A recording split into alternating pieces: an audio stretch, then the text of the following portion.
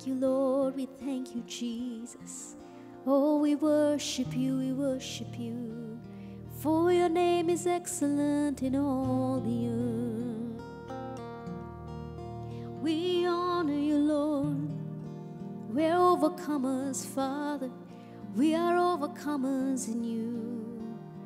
Oh, hallelujah. Thank you for your faith you've given us. This is the victory that overcomes the world, even our faith. You restored unto us the joy of our salvation. Hallelujah, hallelujah. You've made us to sit together with you in heavenly places in Christ. Oh, hallelujah, Father. Oh, we magnify you, we magnify you. Thank you, Lord. We bless you. Father, we thank you. Thank you, Father, for the overcoming ability that you've put on the inside of us, Lord. Thank you, Father, for seating us with you in heavenly places in Christ Jesus. Father, we are more than conquerors because of you who loved us. And our faith is the victory that overcomes the world. We declare, Lord, that greater is He that is in us than He that is in the world. It's not by our might, it's not by our power, Lord, but by your Spirit that is working in us. We exalt you, Lord, the power that comes from you, that makes us rise up, Father, rise up from situations. Even as you spoke, rise up to people who hadn't risen in years, Father. We rise up out of any despondency, out of any despair, and we speak joy in Jesus' name. Hallelujah. Thank you, Lord. It's good to be in the house of the Lord and praising and worshiping Him. We're also glad for all of you who are watching us online and praising and worshiping along with us. And let's believe that God is doing mighty things even as we are blessing Him and giving Him all the praise and glory. And let's remind ourselves that the Lord inhabits the praises of His people.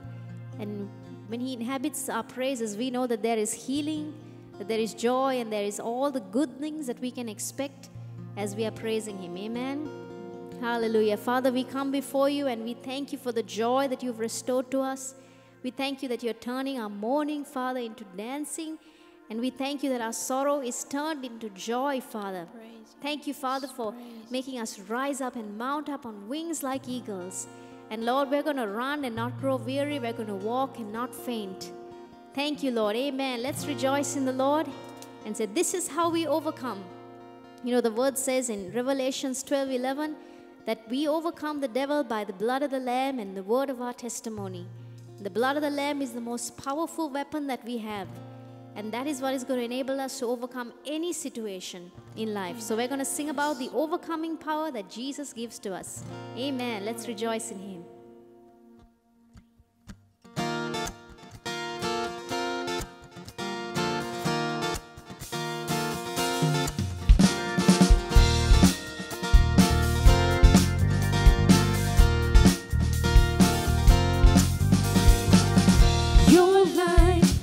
Through my night, restored exceeding joy.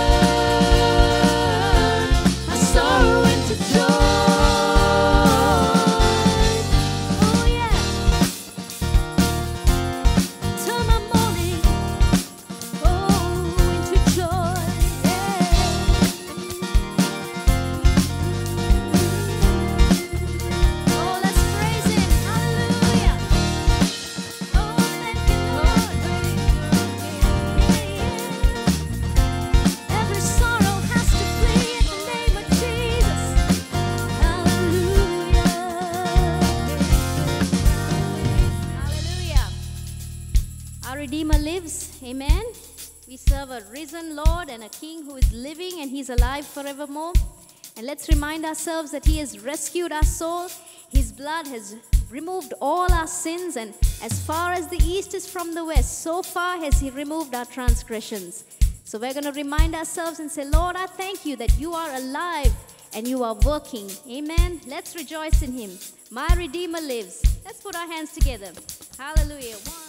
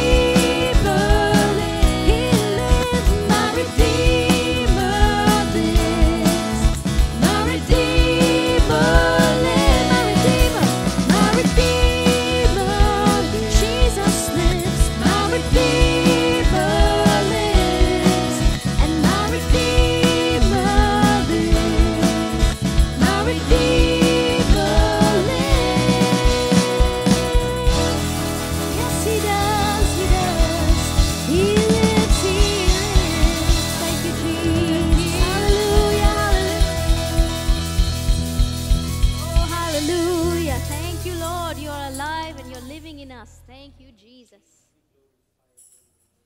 Amen. Thank you, Father. You're alive. Lord, we speak that you are living inside of us, Father. We thank you, Father, that you said, Lord, that we who are alive can praise you. So, Lord, we choose to praise you. Even the dead, they don't praise the Lord, but we who have breath, we can praise about our Redeemer who lives. Thank you, Lord. We speak it, Father. We speak it. You are alive, Father. Thank you for making us the temple of the living God. Thank you, Jesus. The Bible says in, in the book of, we see in um, Corinthians, where the Lord says, Our bodies are the temple of the living God, and we are His temple, and that's where the Lord lives in. And when we know that the Lord lives inside of us, we will start using our bodies and our hands for His glory. So the more we begin to confess and say, Lord, I know that I'm your temple. My body is your temple. It's no longer about myself or what I want anymore, but I know that my body belongs to you. And that's what this song is all about as a declaration saying that we are the temple of the living God. We are overcomers in Jesus. Hallelujah. Let's declare who we are in Christ.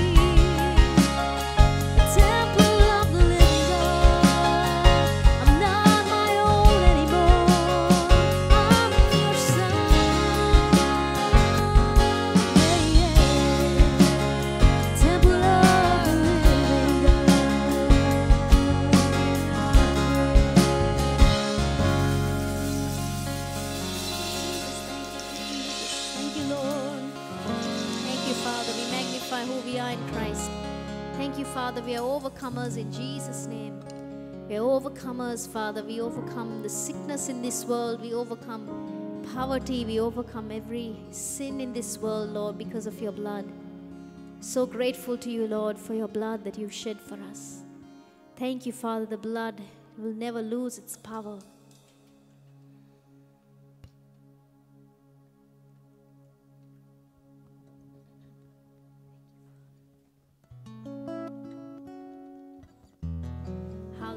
Sing this song that reminds us that we are redeemed from the curse of sin. So important to remind ourselves that we are no longer under the curse, but we're under the blessing. Galatians 2:20 Paul says, "I am crucified with Christ. It's no longer I that lives, but Christ is living in me." And we see how Jesus, he came and he took the curse upon himself so that we might receive the blessing. And the curse we see is threefold sin, sickness, and poverty. Everything that destroyed this world is under those three categories sin, sickness, and poverty. And Jesus took every amount of that curse upon his body. And so that's why we can say, Now I'm redeemed from that curse. We don't have to accept it that that's the normal. We can say, In Jesus' name, I'm redeemed from that curse of sin. I'm redeemed. If it's a bad addiction, you can say, I'm redeemed from that in Jesus' name. If it's a sickness, you can say, Lord, I'm redeemed from that curse. That curse has no authority over my body. Or if it's some kind of a poverty and the enemy has tried to keep you in lack and want, you can say, No, in Jesus' name, I'm redeemed from that curse. And this song is a reminder to ourselves to declare those promises of redemption. And even as you're singing it, remind yourself and say, Yes, Lord, I'm redeemed. Because the enemy will try to tell you it's that's how it's going to be. That's how you're always going to be. That's how your condition of your body is. But you say, No, in Jesus' name. I'm born again and I'm redeemed from that curse. Hallelujah. Thank you, Father. Lord is healing you right now, wherever you might be. If it's a long term illness, you can say, In Jesus' name, I believe that I can be redeemed from that curse. Like the woman with the issue of blood, when she got faith into her, she said, I'm going to go and touch his garment and I'm going to be whole. So believe right now in Jesus' name that you can be whole from that situation, from that sickness. Jesus paid a high price to set you free from the curse. Amen. Let's sing about it. I'm redeemed from the curse, and we're overcoming the devil by the blood of the Lamb.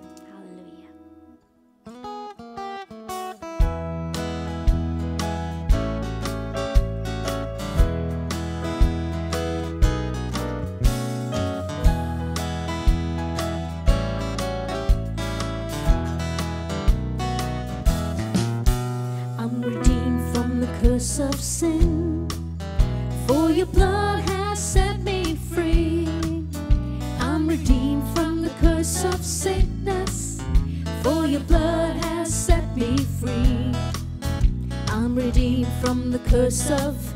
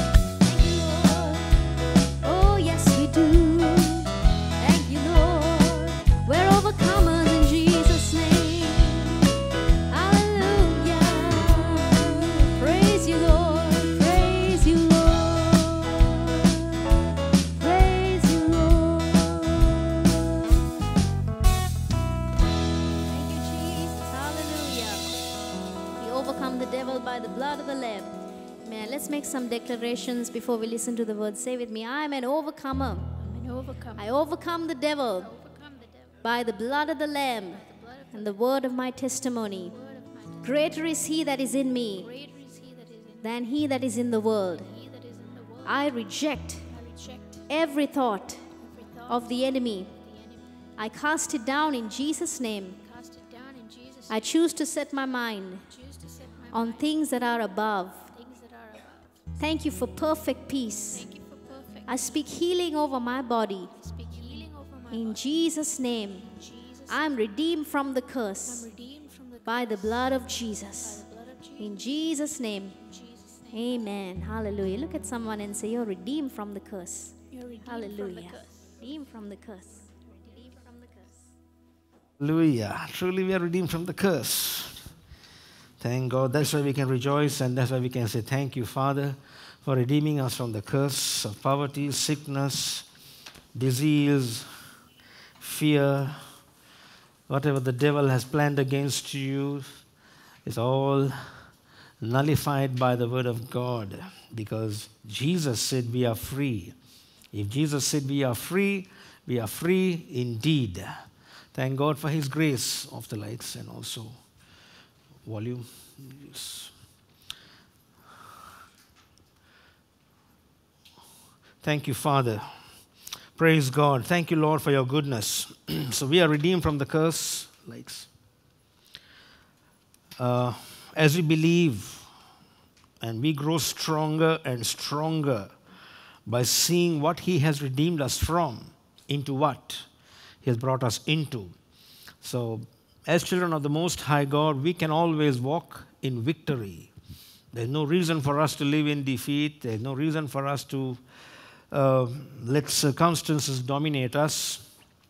You know, people have a lot of sayings. You know, I, I sometimes think, oh, I, I, I wish I could just hold them in, but then I don't want to offend them sometimes. They get offended and then they, I might lose my friendship.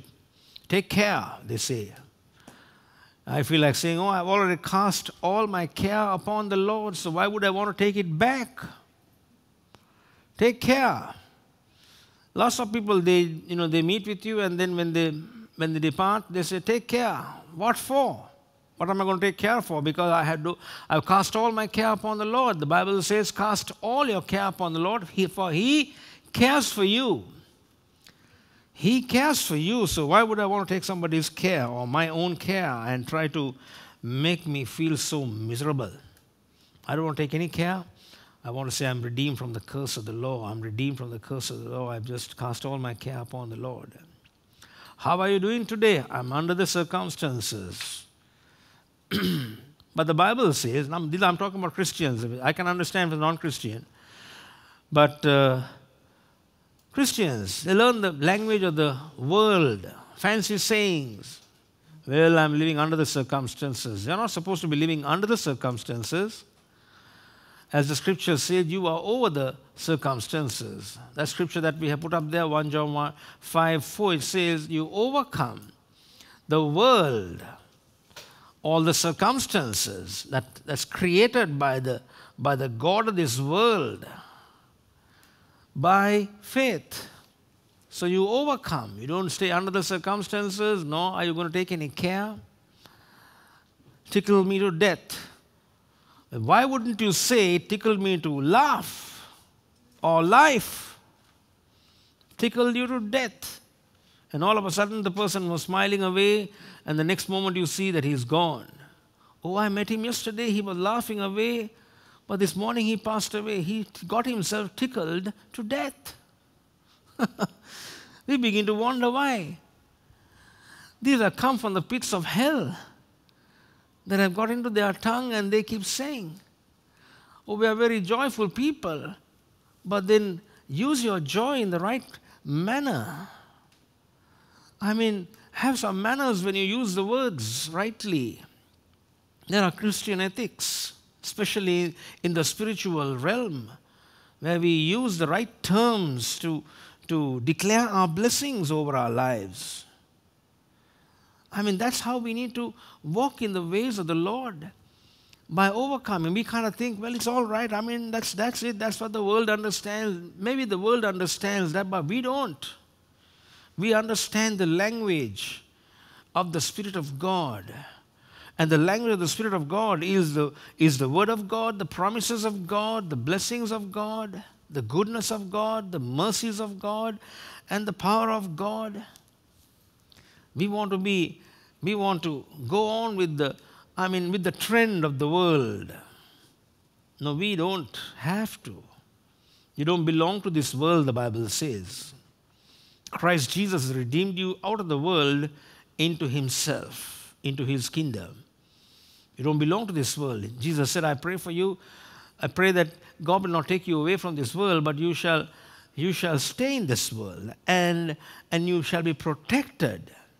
That was the intercessory prayer that Jesus made in uh, John 17, where he prayed and said, Father, I don't pray that you should take them away, but I pray that you keep them from the evil. And I believe that God the Father heard the prayer of Jesus and he is all willing to protect you. I pray, that scripture in John 17 and verse 15 I pray not that thou shouldest take them out of the world.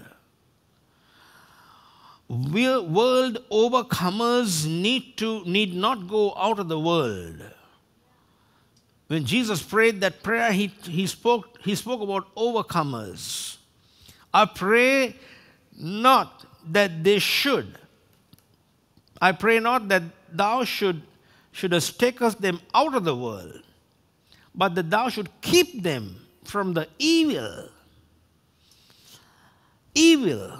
Because he's, he's praying for winners. He's praying for victorious people. He's not praying for those who are who are losing ground, he's talking to winners. We are gaining ground, in fact. The kingdom of God is advancing. Every believer born into the family, every believer coming into in the knowledge of Christ, we advance the kingdom. The kingdom of God is being advanced.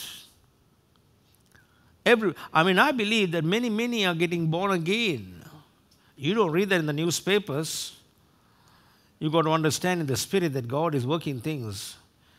The devil wouldn't say 5,000 people got saved in this crusade. The devil wouldn't say so and so witnessed and she got healed and delivered and now she's born again. You won't hear that in the in the in the media. In the mainstream mainstream media, you would not hear that.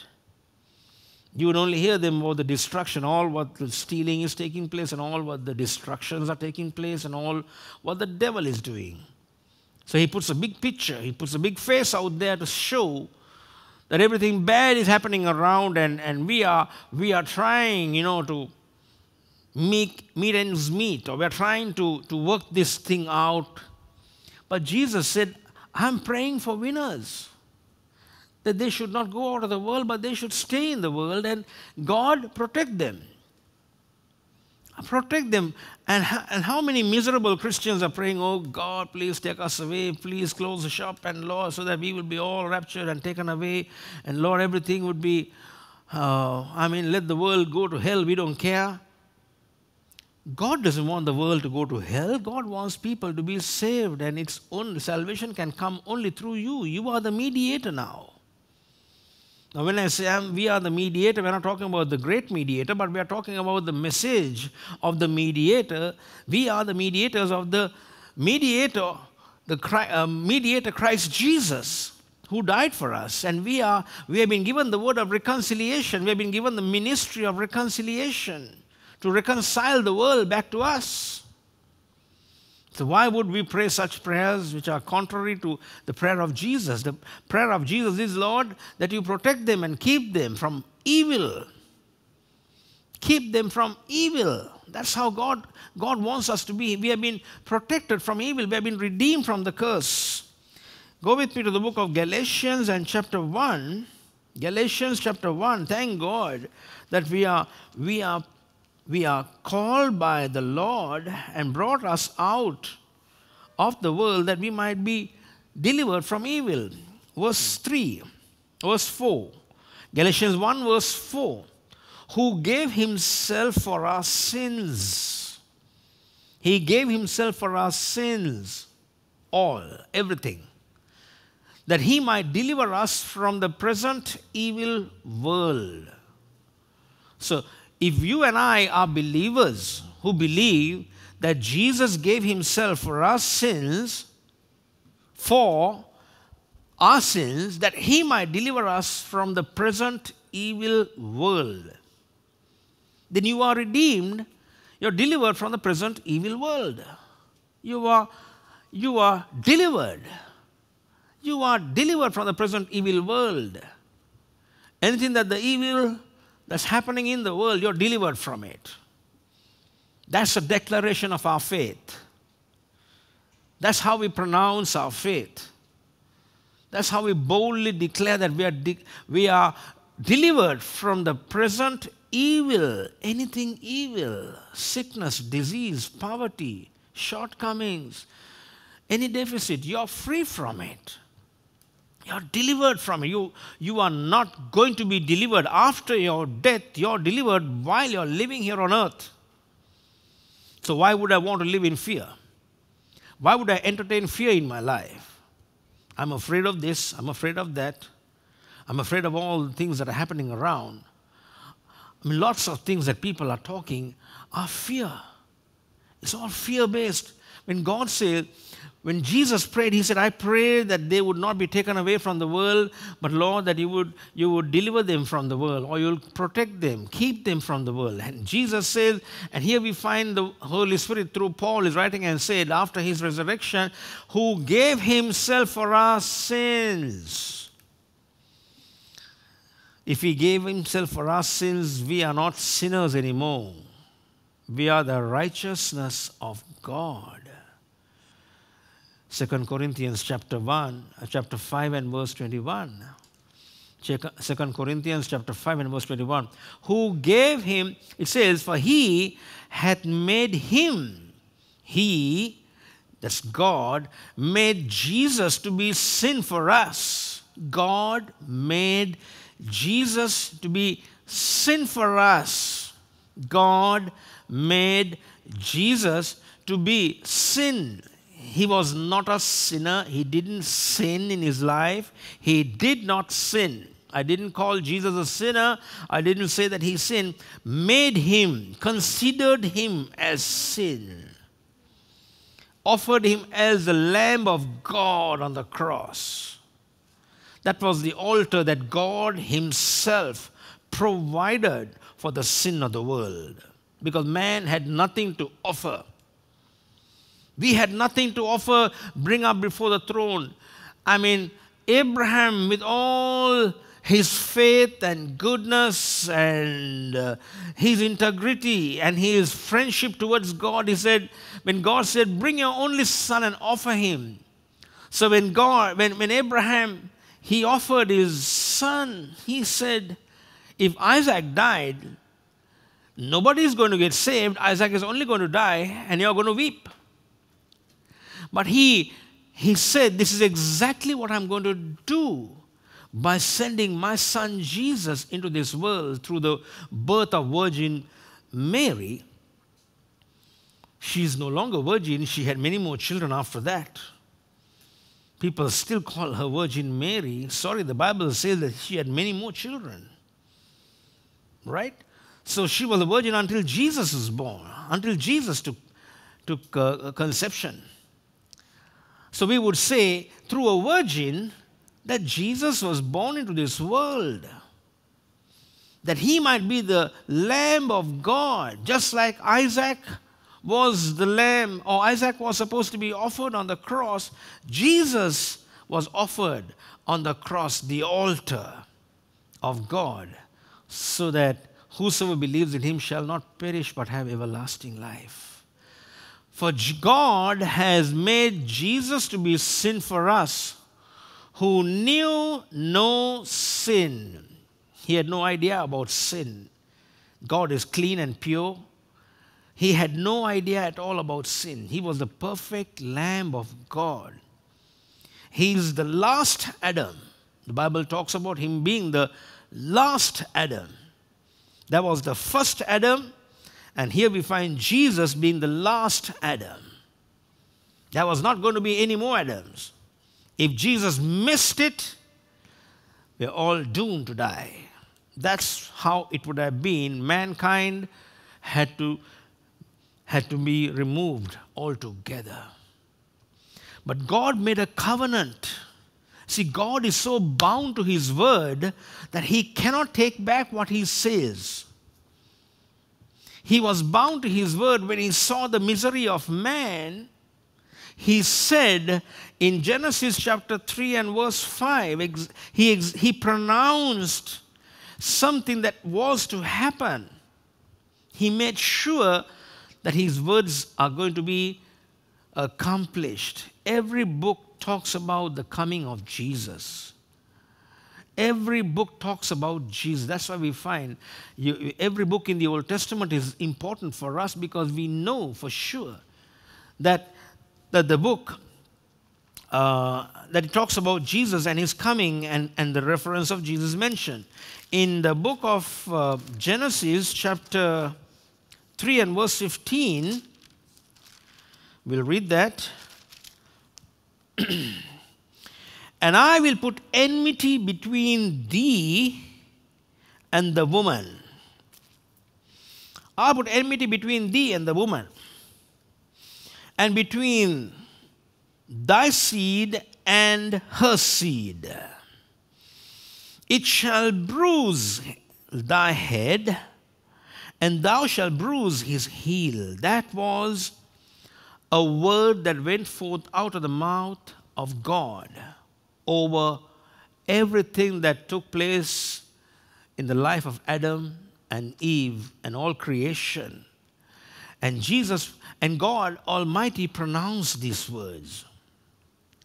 He pronounced, he is bound to his word. God is bound to keep his word. He doesn't say something and say, oh, I'm sorry, I made a mistake. He's not man that he should lie. Numbers 23 and verse 19 says, God is not a man that he should lie. God is not a man that he should lie, neither the Son of Man that he should repent. There's nothing for God to repent. He is not man. Hath he said, and shall he not do it? Has he said something and will he not do it? And hath he spoken and shall he not make it good? Or bring it to pass? Right? So, this is what he brought to pass. That the seed of the woman, now the woman couldn't have a seed, it was the man. But God had to restrain the man and keep the man away from the woman until Jesus was born. Joseph, being a man of integrity, kept up to his word and said, Okay, she's going to remain a virgin. And, and I believe that the, that, the, that the seed that she has conceived within her is of the Holy Ghost. And I'm going to take up this child. I'm going to bring this child up. And that's how it happened. And, and we find uh, Genesis 3:15 being fulfilled through Jesus Christ being born, and he bruised the head of the serpent as much as the serpent bruised the heel of Jesus. Put him up on the cross, nailed him to the cross, but while he was nailing him to the cross, God was able to destroy and bruise the head of the serpent, and through death, the Bible says, through death in Hebrews chapter 2 and verse number, Hebrews 2 and verse number 15, 14, where it says, through death, he destroyed the one who had the power of death. That is the devil. I mean, Satan thought the best is to put Jesus up on the cross, nailed him to the cross. You know, we call sometimes, we say, You nail the fellow. So devil thought the best thing is to nail Jesus on the cross, got him nailed on the cross, but while he was nailing, he was only getting bruised on his head and broke the power of destruction. And through the death of Jesus, he destroyed the one who had the power of death. So death has no dominion over your life. He, the power of death is broken. That is the devil. The power of death is the devil. And Jesus has already been resurrected. He's resurrected, and he said in Revelations chapter, chapter 1 and verse 18, I believe, where he said, The keys of hell and death. Revelations chapter 1 and verse 18 I am he that liveth, I am he that liveth, and was dead. He died to gain access for us, for each and every one of us. I'm, I'm living. I, I am he that liveth, and I was dead. Behold, I'm alive forevermore. Amen. And he said, and have the keys of hell and death. So, whatever the devil has, I got the keys. He has no right against you. And the blessing of Abraham, when Abraham was willing to offer his son on the, on the altar, the blessing, God looked upon him and blessed him and said, Abraham, you're representing mankind by bringing your son before me, before bringing your son before me. This is exactly what I'm going to do for you. In Genesis 22, in Genesis 22, we find that God promised Abraham something very important. In verse, I believe, in uh, Genesis 22, let me just show you the scripture. Let me turn to that. 22 and verse number 17 and verse number 16 onwards. Verse number, okay, verse, uh, verse 15 onwards. 15 onwards. After God had stopped him from uh, using Isaac as the offering, and the second time he spoke to him with a word of blessing. He said, Okay, I have seen your faithfulness. God said, Now I know that you fear God. Now I know that you fear God. In, in verse number 12, he says that. In verse number 12, where he says, Lay not thy hand upon the lad, neither do anything unto him, for I now know that you fear God. See, fear of God has a lot of things to understand. Fear of God is not trembling and trembling in your boots or fearful and Fear of God is to have understanding. Fear of God is the knowledge of God. Fear of God is how much you love Him. It has a lot of things to do with the fear. Now I know that you fear. God said, I'm going to try, test you. God had to put a test in verse number two, in verse number one. In the same book, in verse number one, and it came to pass after these things that God did tempt Abraham, or he tested Abraham and said, Behold, Abraham said, Here am I, say what you want to say. And then the second time he spoke to him and stopped him. He said, Lay not thy hand upon, lay not thy hand upon thy son. Now I know that you fear God, seeing that you have not withheld thine only son. Not withheld thy only son, your most valuable and your only son. And then he spoke to him again in verse 15 and the angel of the Lord called Abraham out of heaven the second time. The first time he said, Don't lay your hands, hold it, hold it. Now I know that you love me, and now that I know that you, you really understood what I said, this is what I'm going to do for you and your seed. That's why we are called the seed of Abraham. Jesus is called the seed of Abraham, and we are in Christ Jesus, so we are the seed of Abraham. We are blessed, blessed. And the angel of the Lord called upon Abraham and said, Out of heaven, the second time, and said, verse 16, By myself I have sown. I swear by myself, said the Lord, because thou hast not thou hast done this thing, where you have proved your faith with your works. You have proved your faith with your works. It's important. I can't say I have faith and not have any works in me. This was the works. I have faith, I have faith, that's good. But this is the works part of the faith of Abraham, where he said, Lord, I'm going to bring, bring my son upon the altar. Whatever you say goes, Lord. I know you have blessed me. You gave me this child at the, in the age of 100. I was 100 years old. And you gave me this son. It's a miracle boy. I know. It brought laughter into us. Isaac means laughter.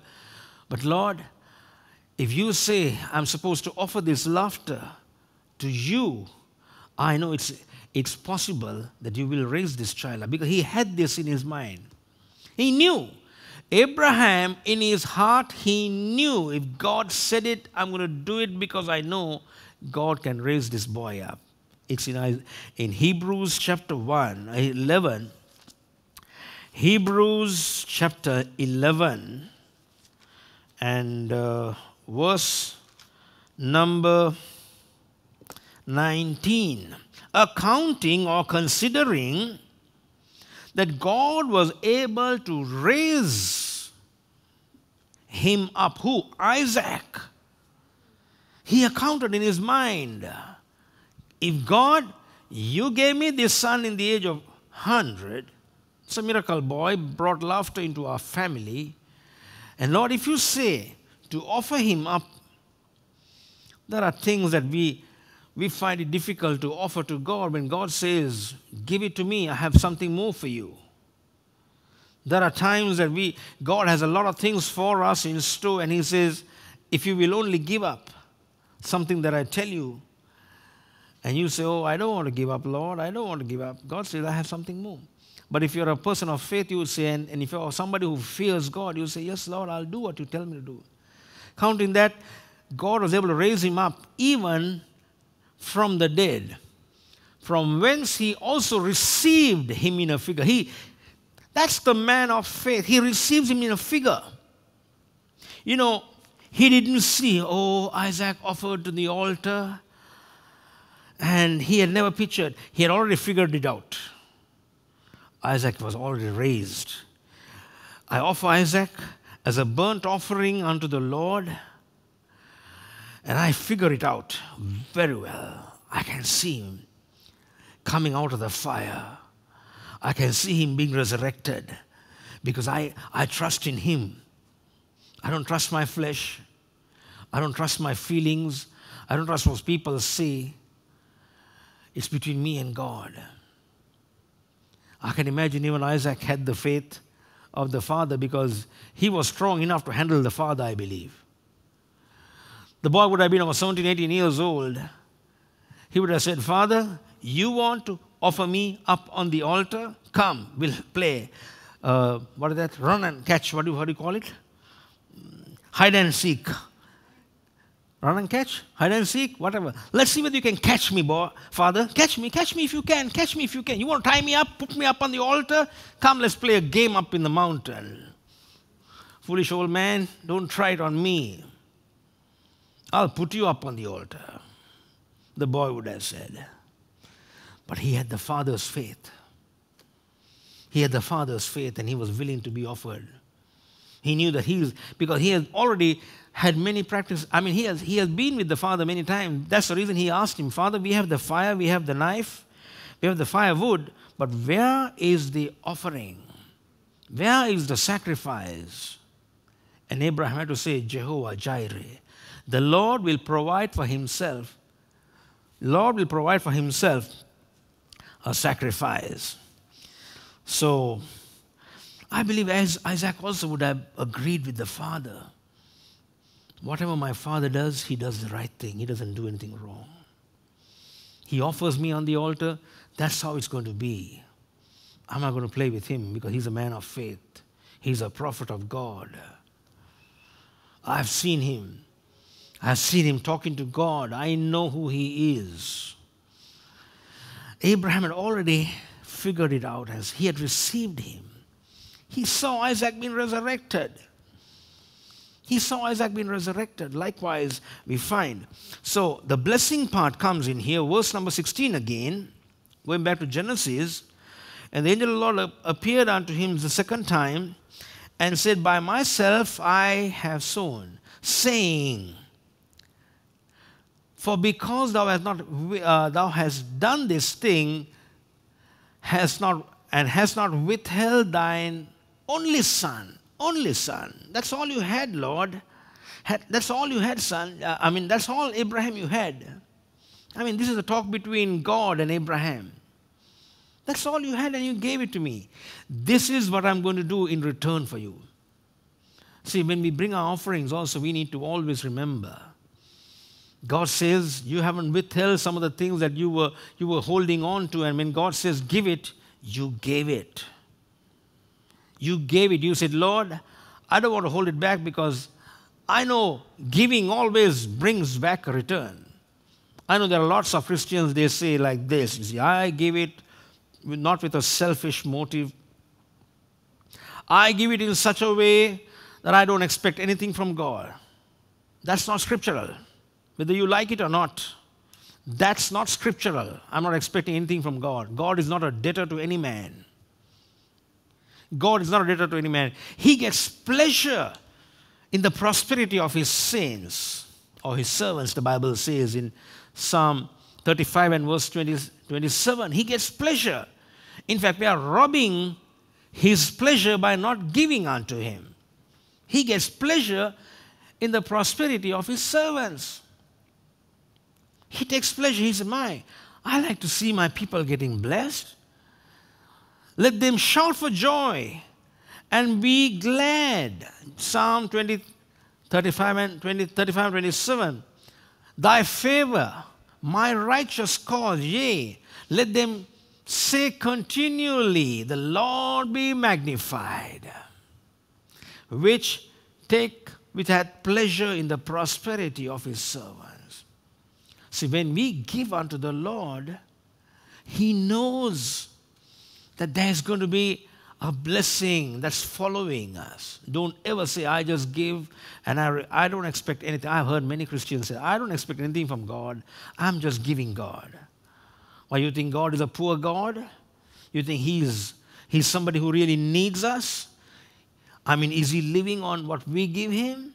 No, He takes pleasure. He sees, He wants, he wants to see that that seed can be multiplied, blessed, so that you'll have over and above to give to every good work. You'll have over and above to give to give every good work after that. He wants you to prosper. That's the reason he wants you to give. He takes pleasure. So we are robbing his pleasure by holding back and saying, God, I don't want to give you what you really want me to give. There are times that God wants us to give certain things, and it might be just like Isaac, our best. Something that has really brought laughter to us, something that we have really waited for and we have had it. And the next moment, God says, Now go, go and give it to this sister. Lord, this thing that you blessed me has brought me so much of laughter. Now I'm going to be so sad about releasing this, releasing this from my hand. Lord, you have blessed me so much, Lord, and all of a sudden now you want me to release it and give it off. You're not giving it off. God is testing you to see whether you are faithful. And, and He surely is going to bless you with what, he ha- what you have given back to Him. Verse number 16, he say, verse number 16 we read, You have not withheld your only son. Verse number 17, that in blessing I will bless you. What you gave to me is going to come back to you with a blessing. And do you know that the blessing of the Lord makes you rich and adds no sorrow? Proverbs 10 22. The blessing of the Lord makes you rich and adds no sorrow. And the blessing, and that's how that's how when God blesses, there is not going to be a sorrow. You would say, Oh Lord, I gave my laughter away, now I'm getting more laughters. I didn't really give it, I gave it to get more. That's the blessing of God. Right? The blessing in the, that in blessing I will bless you, and in multiplying I will multiply, and in multiplying I will multiply thy seed as the stars of the heavens. You gave Isaac, I'm going to give you many more laughters, generation after generation after generation. The blessing of Abraham is still continuing. And we are, we are in joy. We are the seed of Abraham. Abraham is still producing children. Every spiritual birth that takes place today, Abraham gets the credit. He said, That's my child.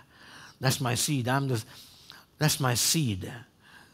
He had not just given me one son, but he has given me sons like the stars of heaven. And we are all sons and daughters here, but he says, sons. Sons. He considers all of us as sons of God through Jesus Christ. In multiplying, I'll multiply thy seed as the stars of heaven and, the, and as the sand which is upon the seashore. I don't think we can ever count the stars, nor can we count the sand of the seashore. That's why I tell you, when you listen to the, to the mainstream media, you don't get this kind of a hearing. You don't hear that, that people are born into the kingdom of God in millions. As the stars of the heavens and as the sand of the seashore. You don't hear that. You say so many were killed and so many were destroyed and she was robbed and this one was raped and, and this took place and that took place and a tsunami and all. You won't hear this news because God says, I'm going to bless you. It's so much so. With what you gave, I'm going to bless you as the stars of the heavens. People are getting saved.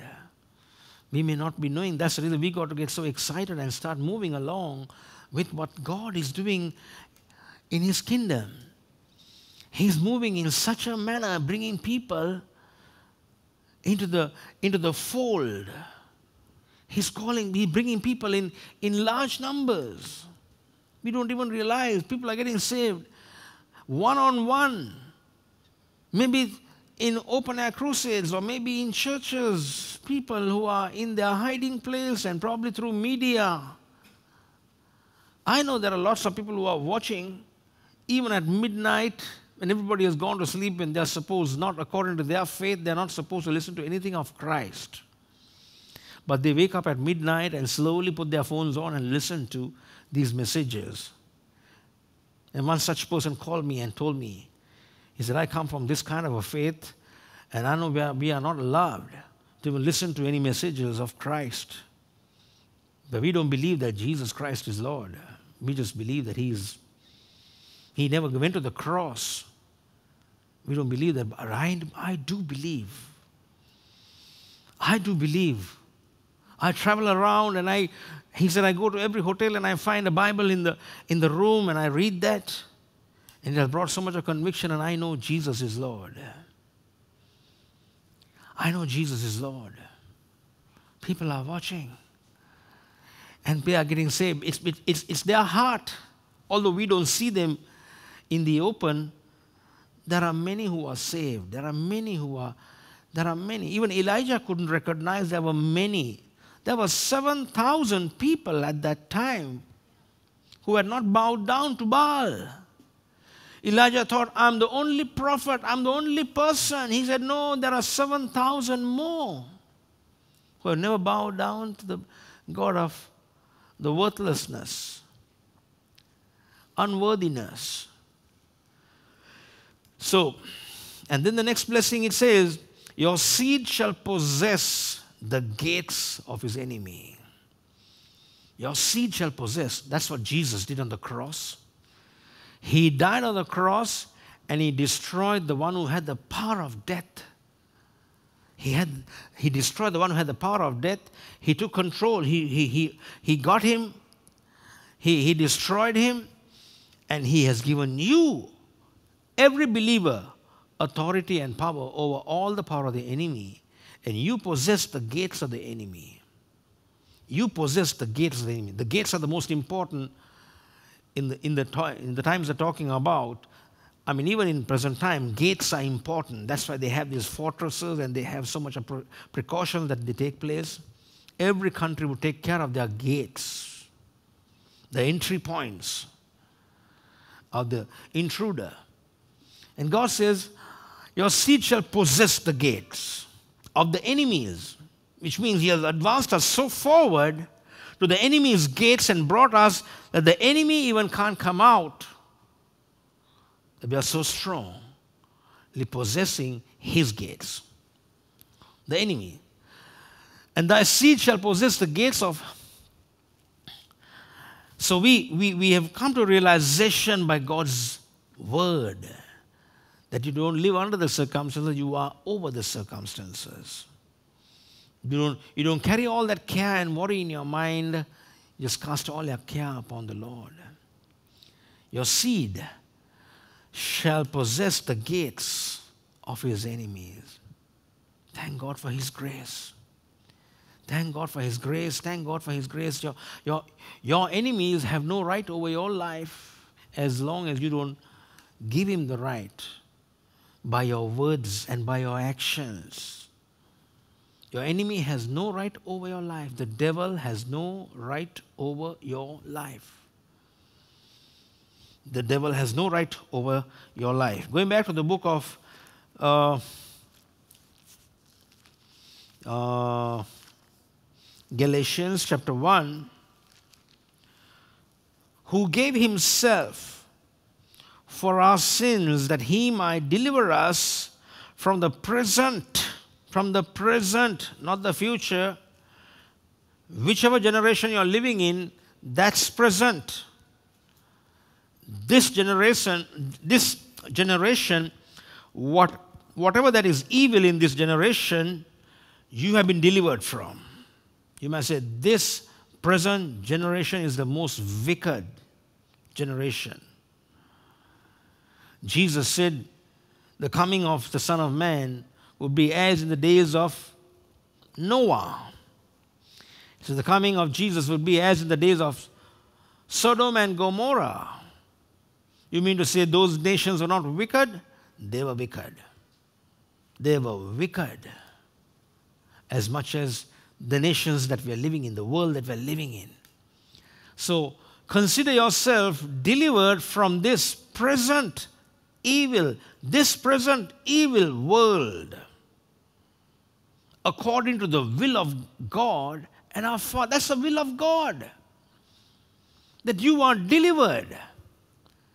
If your sins are forgiven, you've been delivered from the present evil world. So, why fear about the evil world? People are preaching so much of fear. Be careful about that, be careful about this. You don't know what's going to happen, you know what's going to enter into your body and all kinds of things. You're, you're going to be tracked wherever you go. You're, let me tell you one thing people can track you wherever you are, but they cannot touch you because Jesus has prayed the prayer over your life. Jesus has prayed the prayer over your life. Jesus prayed to the Father and said, Lord, I pray that you take them not away from the world, but you keep them from the evil.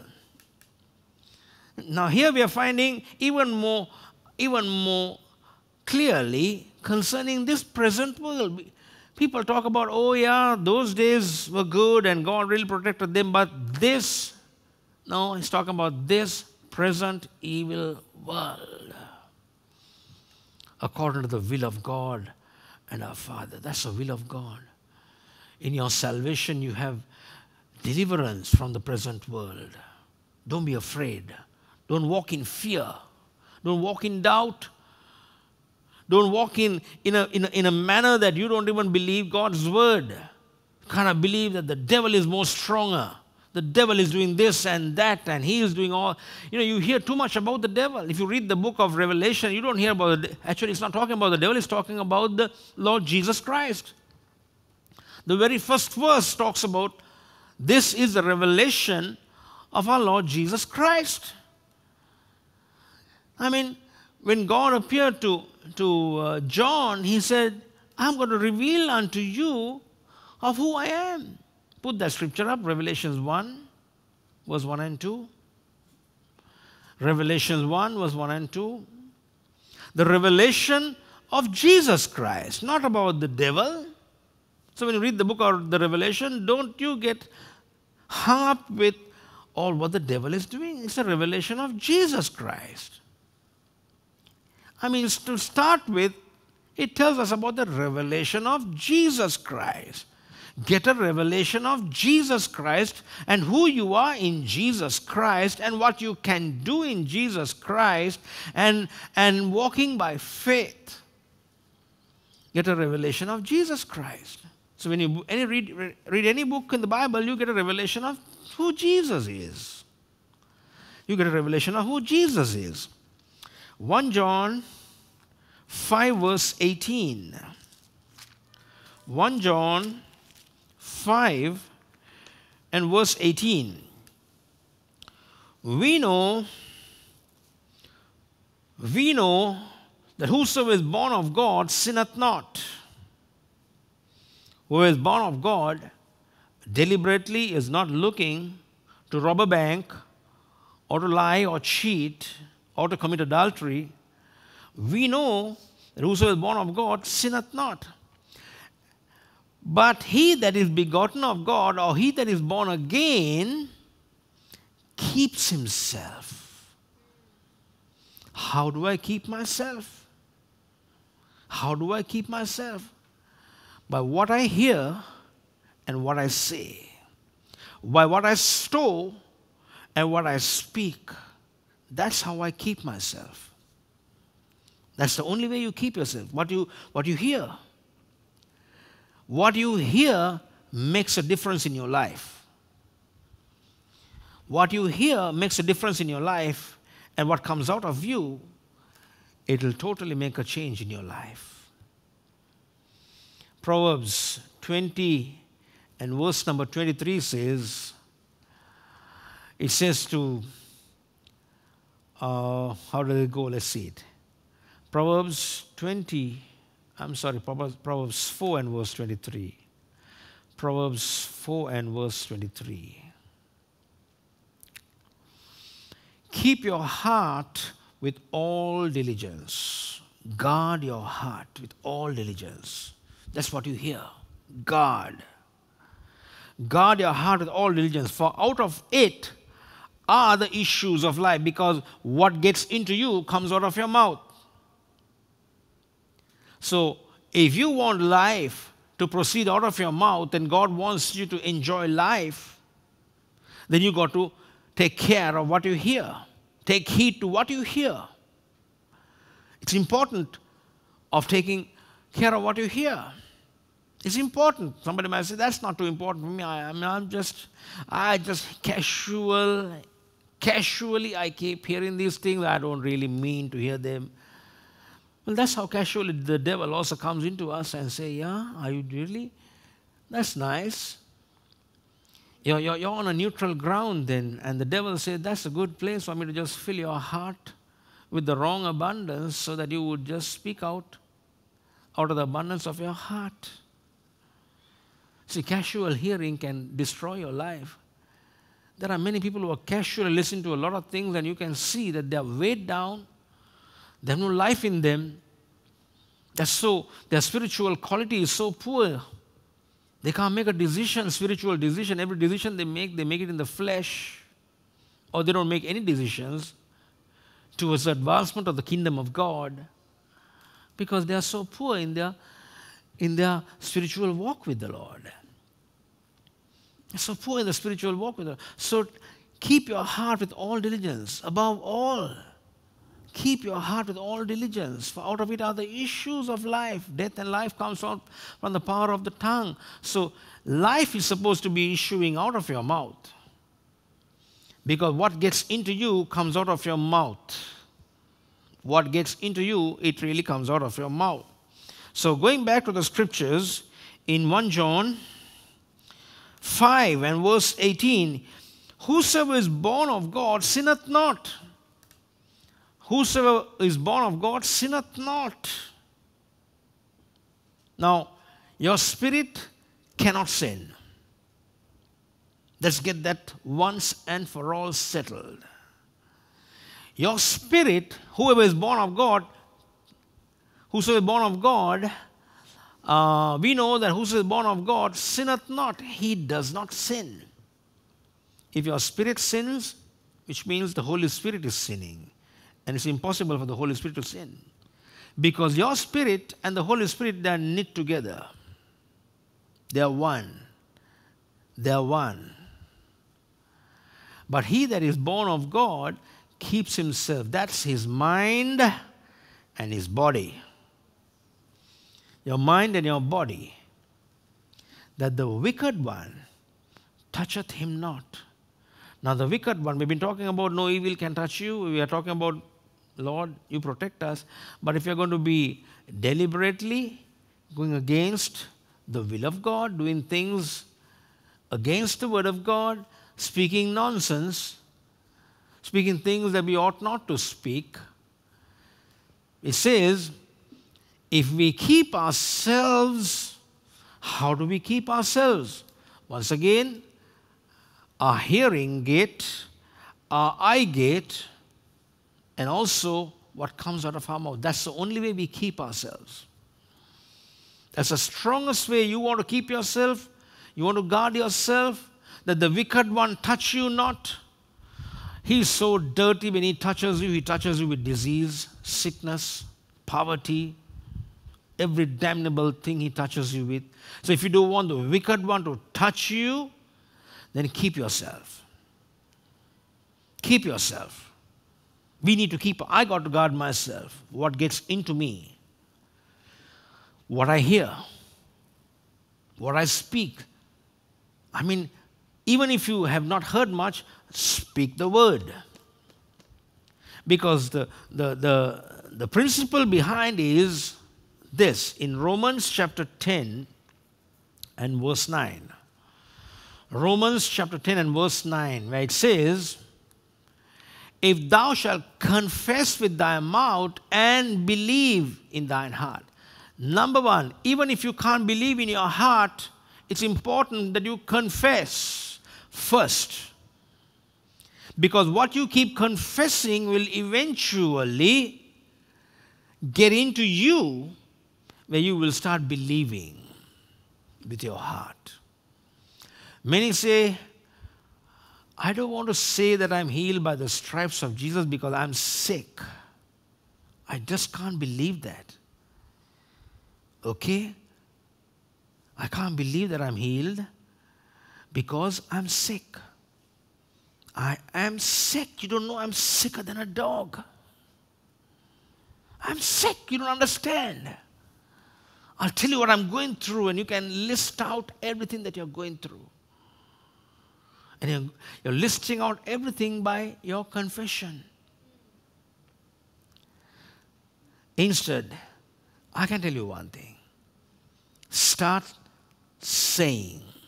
The principle is this if you confess with your mouth, the believing will start following you. And then eventually the believing is going to catch up with what you speak, and then you're going to believe and speak. I'm trying to get it myself. You can't believe right now that you're healed by the stripes of I can never say that I'm healed by the stripes of Jesus because I know that I'm sick. You don't understand. I'm just boiling within myself. I'm sick. How, how do you expect me to believe? I can't believe. You know, let me take you another example. All this. Let me find it in the book of Matthew. Matthew, Matthew chapter number 9 and verse 20. And behold, a woman with a, which was diseased with an issue of blood, 12 years, came behind him, touched the hem of his garment. And the next verse, for she said within herself, her saying was more than her believing. It didn't say she believed and kept saying that if I go and touch the hem of his garment, I'll be healed. She kept saying within herself, she kept saying within herself, if I may touch, if I may touch his garment, I shall be whole. She kept saying, she kept saying, she was sick. She had spent all that she had. And she grew worse, the Bible says. But she kept saying. The saying overcame, and then Jesus said unto her later, in verse 22, the saying started before Jesus made this declaration about her. But Jesus turned about, and when he saw her, he said unto her, Daughter, be of good comfort. Your faith has made you whole. Her saying brought her to a position where she spontaneously, unconsciously started believing. And Jesus pronounced, Okay, this is how I see you. That you, your faith has made you whole. Her saying brought faith into her spontaneously. So sometimes people say, I can't believe I'm healed. I'll call myself a liar if I ever say that. Not calling a liar. Okay, didn't Jesus die for you? Sure, he died for you. You confessed and you believed and you got saved. There was no great, massive faith inside of you that you really knew that Jesus rose again and the stone was rolled away, and you didn't have all that faith, but you confessed Jesus is Lord. And then you started believing that God raised him from the dead. So it's your saying that will catch up with your believing. And Jesus pronounced, Now I know you're healed, your faith has made you whole. And the woman was made whole from that very hour. Your faith. But the saying started before her faith. Her saying started before her faith. That's important. Her saying, and eventually, when, you when her sayings caught up with faith, now she has faith to keep confessing. Even if the enemy comes up against her, she will say, I know, I know that I know that I know that I know I'm healed because Jesus pronounced that my faith has brought healing into my body. So I stand on my faith now and I pronounce that I'm healed. The symptoms would have come back to her. As usual, we find symptoms come back to us again and they start knocking at our door and saying, You're still sick. You mean to say you got healed? That was not the truth. I mean, you had some kind of a thing that happened there and you thought really you really got healed. And the devil starts bombarding your mind and saying, You are really not healed. You're still sick. And you got to attack those symptoms now by your faith. Because Jesus said, Jesus was able to stand as a judge there and say, Yeah, I see you, faith. I see your faith. But it was her saying that brought her to Jesus. But her faith brought healing into her. Her saying overcame her faith. And now she is a woman of faith. Your faith has made you whole. Your faith has made you whole. Your faith has made you whole. Look at the, look at the blind man who was seated by the side. When he said, Who is going past by and what is all this uh, commotion around? And people said, Jesus of Nazareth passed by. Jesus of Nazareth passed by. And uh, he said, he said, I've heard about Jesus of Nazareth, about people, but I know who he is. He is the son of David. So I'm going to call out. I'm going to confess Jesus, son of David, have mercy on me. His confessions started. He didn't have that faith, but his confession. Eventually, Jesus stood before him in Luke chapter 18. In Luke chapter 18, once again, we see confession went before he believed. The believing eventually caught up. Eventually, believing caught up. And they told, in verse number 37, and they told him that Jesus of Nazareth passed by. That's how they knew him. Jesus was born in Nazareth, passed by. He cried, saying, he started saying something Jesus, Savior, Deliverer, Son of David. You're the one who was supposed to come. Have mercy on me. he confessed what he wanted. Deliverer, healer, who is Jesus? Jehovah Jireh. Who is Jesus? Jehovah Rapha. Jesus, thou son of David. He started confessing. His sayings initially went before his believing. Have mercy on me. And they which went about, went before him, rebuked him. Know, people don't like when you confess the right thing. They would laugh. Oh, I'm just careful. I'm so worried. I'm so sick. What's wrong with you? I'm this, that, and the other. Oh, yeah. I was going through the same thing last month and I'm still having the same thing. I don't know when we are going to be redeemed of this. you can, you know, flesh goes along with flesh. Unbelief goes along with unbelief. Fearful people, they can just, but if you say, yeah, I had some symptoms, but I know that I'm healed by the stripes of Jesus, oh, oh, oh, I want to keep myself away from you. Just like somebody who met me so many years ago, and he met me and he shook hands with me, and I, I met him. He was just passing by while I was just standing out there once. And then he said, Hello, how are you? I mean, he's a child of God. He would have been uh, more of a Christian than me, according to what I thought, because I was quite young at that time. And uh, he, was, he had been in the Lord for, for more than me, more than the time that I have been from the, with the Lord.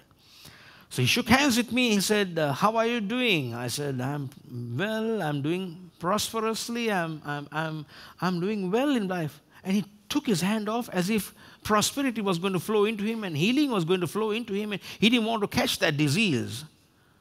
He said, See you, bye. I said, Why? We just started a conversation. I only said that I'm prosperous and I'm doing well. You asked me how you are. The only reason he would have expected me to say, I'm living under the circumstances, the days are bad, you see. Or he would have kept his shaking his hands, hands for a while with me, and then he would have stood with me for a while. But he took his hands off. My, this guy, he believes in prosperity and healing, so I'm going to take my hands off because that's contaminating. I don't want to get contaminated. Saying goes before your believing. Right? So he, and people rebuked him for his sayings. You blind beggar, who do you think you are? You stay where you are and keep begging. Rebuked him for his sayings. That he should hold his peace. Shut up, don't say Jesus. They themselves answered and said, Jesus of Nazareth is passing by. What are you doing? I'm just going with the crowd. So there are lots of people who go with the crowd, but there are only few people who go deliberately. We go with the crowd following Jesus, but there were some people who are deliberate. The woman with the issue of blood was deliberate. When, when, uh, when Jesus turned around and said, Somebody touched me because virtue has gone out of me, and the disciples said, Lord, there are people, all thousands of people. I mean, history even says that, you know, at least 20 to 30,000 people are following him all the time. All the time, just to see the miracles that he was doing. But we find here, they said, everybody is touching you, but Jesus said, no, there's somebody who touched me. And the woman owned up and said, yes, I am the woman. Your, your faith has made you whole. So we find here the the same situation. He cried out, and the people said, Hold your peace. You know, you will have people who come around you and say, You look very sick today. And when you say, No, I believe that I'm healed by the stripes of Jesus, don't say that. That's a lie. I can see it from your eyes. Your eyes are red. You're sick. Can I touch you? Oh, you're warm. My God. Terrible. I mean, you use the word my God like a curse word there. You don't say, God, I thank you for healing her. You say, oh my God. That's how people are. Don't call yourself healed when you're sick. But this man, he called out Jesus, who is the healer. Thou son of David, have mercy on me. He cried so much more. I like that. I like this guy's deliberation. I mean, people want to stop him, but he cried out the more. Just be a daring character like that and see how quick you will have results coming into your life. Be a daring character. Don't stop just because somebody says, don't say, don't cry out to Jesus. Don't say that Jesus, the son of David, have mercy on me. Don't say, now this man was genuine in his declarations. He's so genuine in his declarations that Jesus saw his declarations and, and he, Jesus pronounced it like this. And uh, verse number 40, and Jesus stood I always say this Jesus was glued to the ground, he couldn't move. Jesus was glued. Every time you call out in faith or your declarations are very positively scriptural, you always remember that Jesus will stand strong on your behalf. And he commanded, it was a command. He, did, he didn't consult disciples. What do you think, disciples? Do you think I should bring this man up? He commanded. He didn't go by the votes of the disciples, and some of the disciples would have said, No, don't get him down. We're going to waste a lot of time. You're going to touch him and heal him, and there's going to be a testimony and all that. Let's go, let's go, let's go. Make it fast. We're hungry. We want to go and sit somewhere and eat. That's what they've always had this in their mind. Andrew, when Jesus was preaching to the group of 5,000 plus people, and, and the disciples came and said, We're hungry. We, is there anything to eat? Send the people away. I mean, they didn't say it that way. They said, This is a desert place. But it was their hunger that was speaking. Send them away. Send them away.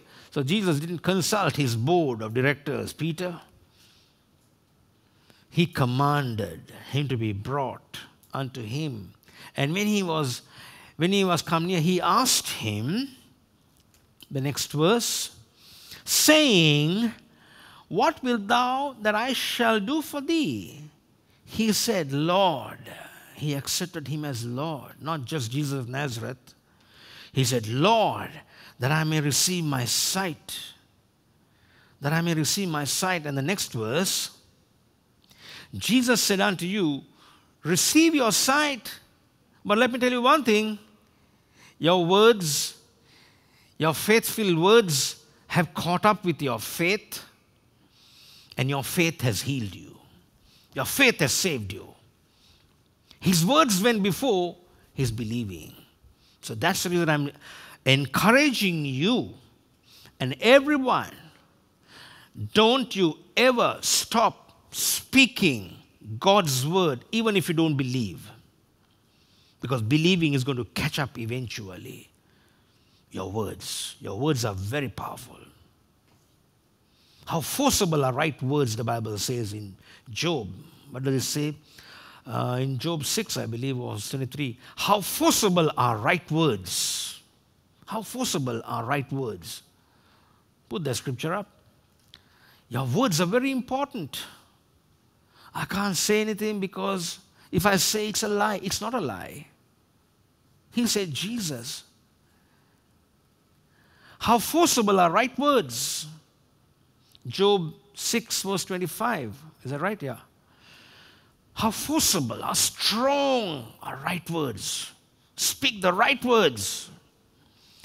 I preached a message last Sunday at another church in the opening. I said, It's not doing the good thing that is important, it is doing the right thing that's important. People do a lot of good things. People do a lot of good things, but it is the right thing.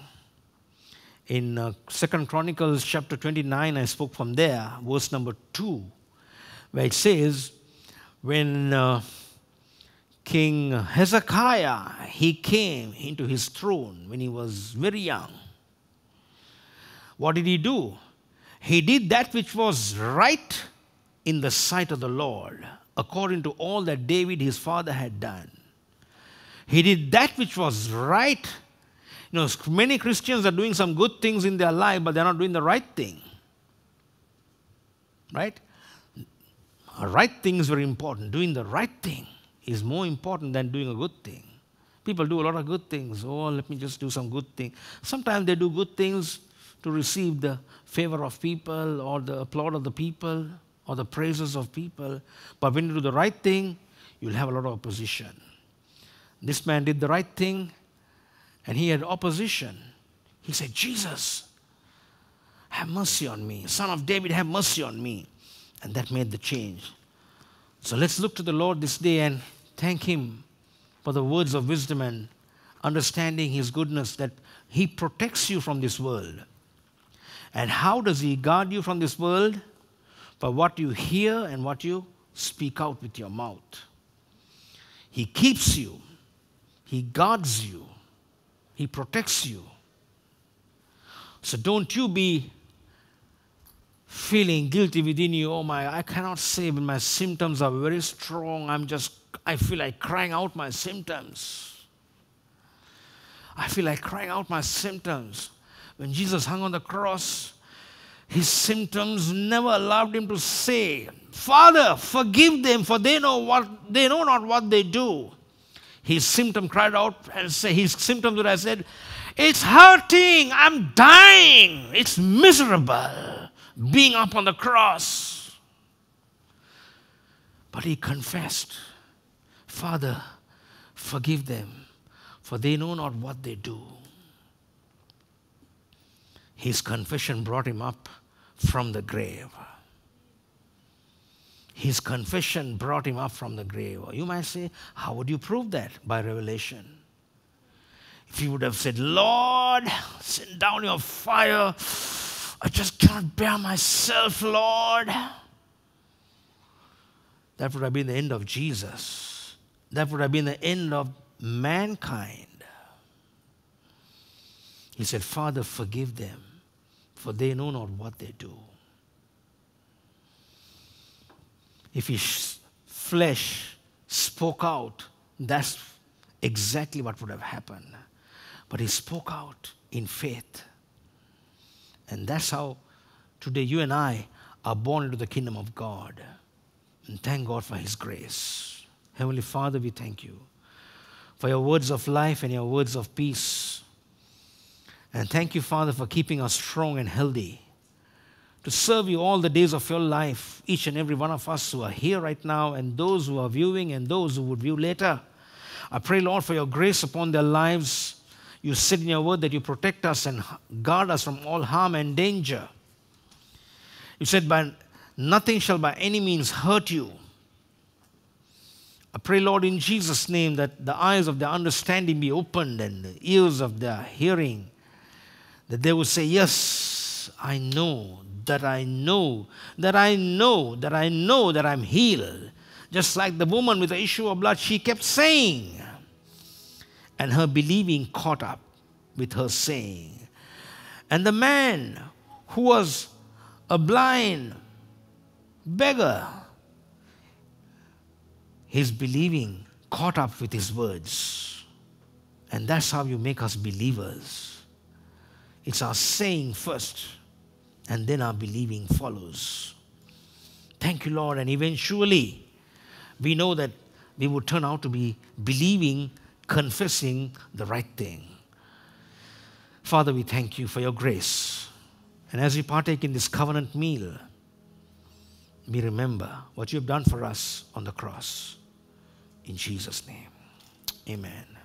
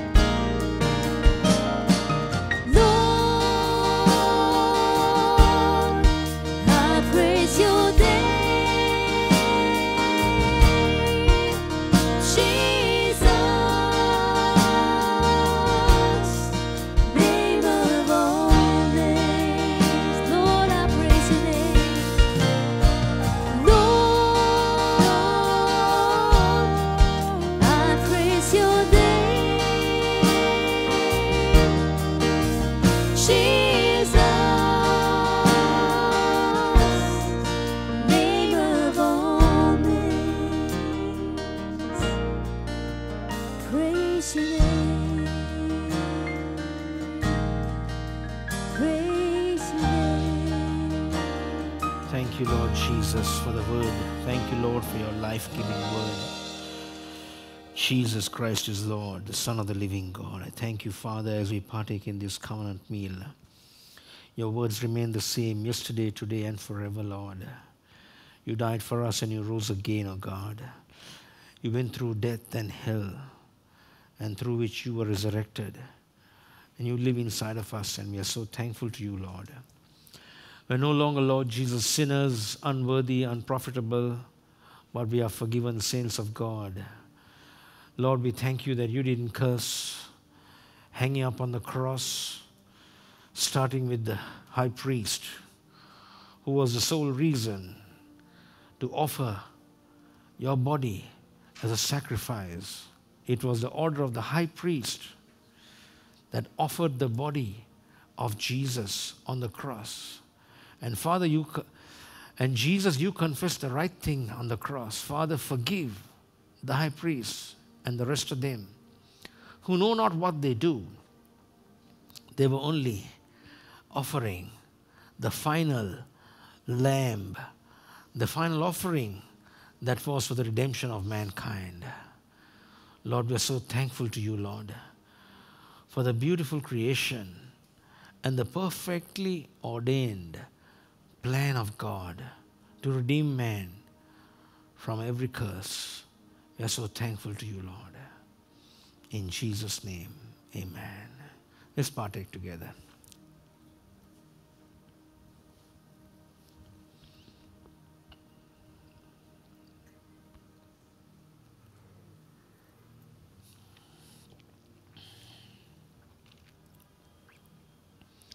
Thank you, Heavenly Father. Thank you for your goodness. Thank you for your mercies. Thank you for saving us. Thank you for loving us so much so that you gave yourself. Oh, we thank you and we thank you for your death that has brought resurrection into us, to live a resurrected life, to have within us the same spirit that raised Jesus Christ from the dead, that we would be able to live fearless. Thank you, Father, for the glory of God and the power of the Holy Spirit. Be redeemed from every curse. You're free from the curse of sickness, disease, and poverty. Be released from every bondage right now in the name of Jesus Christ. Receive your healing by saying, Thank you, Jesus, for healing me. Thank you, Jesus, for healing me. Just thank Him by re- receiving. Maybe you feel a bit better, but by thanking, you receive wholeness, just like the leper who came back to Jesus. All ten were cleansed, but the one who came to Jesus out of the ten was made whole because he started thanking the Lord. Start thanking the Lord and receive wholeness into your body. Receive. He doesn't want to take a few symptoms off. He's not going to cut off a few uh, stems and the, and, and, and the leaves, but he wants to uproot that very sickness out of you. Maybe it's a terminal illness in your body. He wants to uproot that terminal illness altogether, and you do it by faith.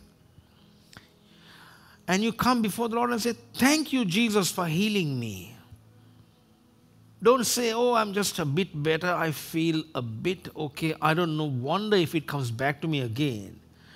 No, go for the full. I'm not a bit healed. I come to Him by thanksgiving and receive wholeness. Wholeness. The nine, they went back, cleansed, but the last one who came to Jesus, he was made whole. And there again we see his confession went before Jesus pronouncing, Your faith has made you whole. Thank you, Jesus. Start thanking the Lord by faith. The word confession and thanksgiving is the same Greek word. Same word. Thank you, Jesus. And also confessing his promises is the same word that is used for the word confession in the New Testament. Thank you, Jesus. The fruit of our lips giving thanks unto the Lord. Continually, that's the same word that is used for the word confession. Thank you, Jesus. Thank you, Jesus. I believe I'm healed by the stripes of Jesus. Thank you, Lord. Thank you, Lord. I receive my healing. I receive it's already in me. I'm not going to receive it someday. I've already received it, and I thank God for wholeness. Thank you, Lord. Let's praise Him and honor Him and come before Him, bringing our tithes and our offerings. And as you bring into the soil of the kingdom of God, you bring into the storehouse. The Bible says, as you come into the storehouse, that there might be meat in His house. The people might have revelation knowledge as they receive the good. As, as, you, as, as, as you bring in, it's been, it's you're sowing into the kingdom of God, and God is going to honor you by returning back to you. That's His grace. Let's honor Him and praise Him.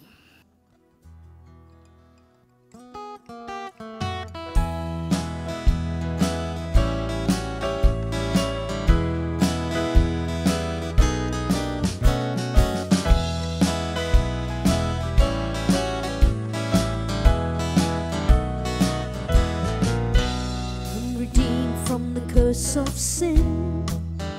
For your blood has set me free. I'm redeemed from the curse of sickness. For your blood has set me free. I'm redeemed from the curse of poverty. For your blood has set me free.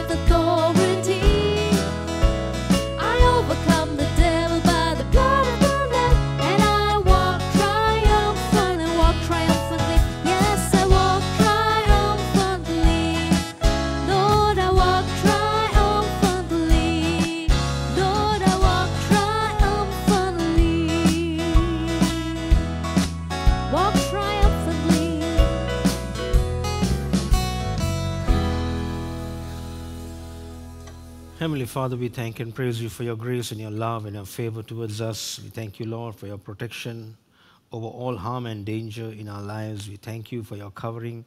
We thank you for the blood that you've given us. We thank you for the word that you've given us. We thank you for the promises that you have for us. We ha- thank you for the name that is above every other name that is given unto us, O God. And we honor you this day and we praise you and we thank you, Father, even as each and every one of them, those who are viewing and those who are also here right now, Father, even as they have honored you with their tithes and their offerings, O God, that you will honor them and you will, Lord, touch their lives and bring joy and happiness into their lives. Father, you said, Give and it shall be given unto you. Good measure, pressed down, shaken together. Father, we also know, Lord, even as Abraham brought Isaac his laughter. And Lord, he honored him, honored God, Father, by giving. And Lord, the blessing that he received was enormous, O God. That was greater. And, and the blessing still keeps flowing, O Father. I thank you, Lord Jesus, that your blessing would be a generational blessing into the lives of people, O God, as they give, as parents are tithers, or as grandparents and great grandparents are tithers, or, and honors, honoring you, Father. Let, Lord, the blessing would continue for generations thereafter. Thank you, Father, for all the good that you do for each and every person. In Jesus' name, amen. Amen. God bless you.